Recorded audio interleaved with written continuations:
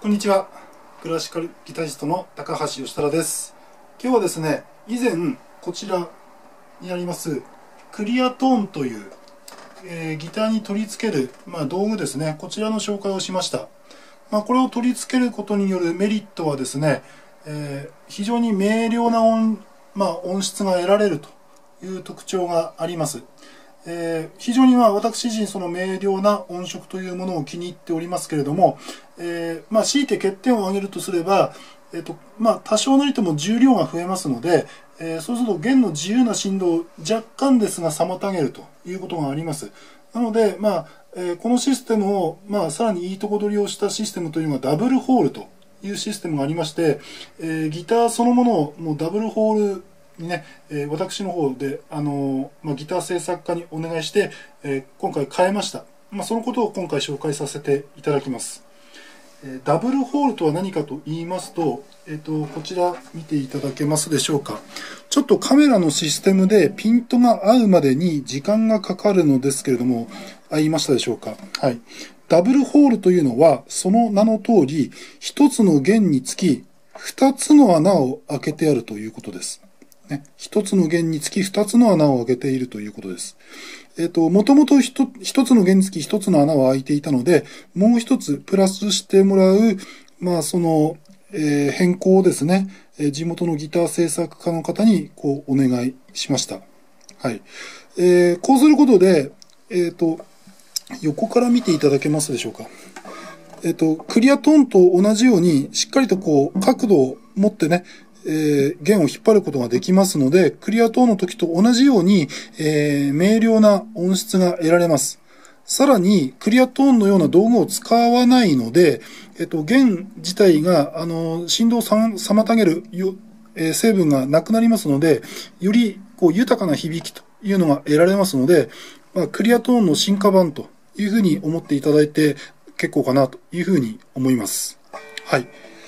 それで、えっと、ダブルホールのその使い方ですけど、非常に簡単です。まあ、クリアトーンもそれほど難しくはないのですが、ダブルホールになると、さらに原稿感が容易になります。どういう風にやるかというと、えっ、と、2つの穴がありますので、1回、2回と2つの穴をそれぞれ通します。通しますと、えっ、と、輪っかができます。その輪っかの中に、その弦の先端を通して、あと引っ張ってあげれば、先ほどのような形になりますので、非常に原稿感は簡単です。はい。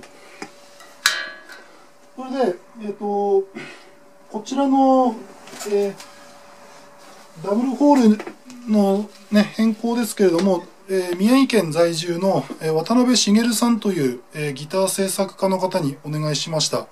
えー、渡辺茂さんは、えー、普段ですね、ギターの修理だけではなくて、えー、ご自分のギターもこう作られていて、非常に素晴らしいギターをこう作られている方です。はい。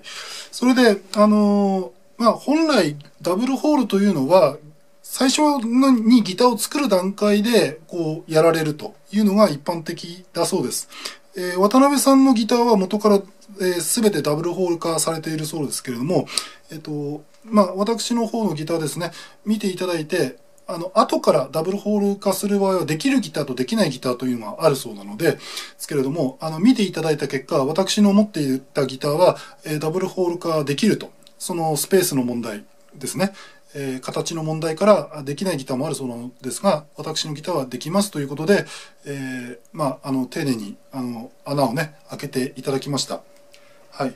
まあ、料金はギターによるそうなのですが、約1台、ギター1本につき1万円ほど、まあ、考えていただければということでした。はい。それで、まあ、あの、まあ、ダブル放火にしてですね、非常に豊かで、えー、しかも明瞭な音質が得られたので、えー、非常にこう音色については、あの満足しております。はい。あの丁寧にね、えダブル放火あのしていただいた渡辺茂さんには非常にあの感謝しております。